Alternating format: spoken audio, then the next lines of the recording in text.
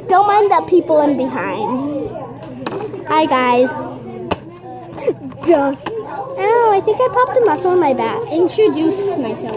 Introduce me. This my friend. Seriously, just did it. And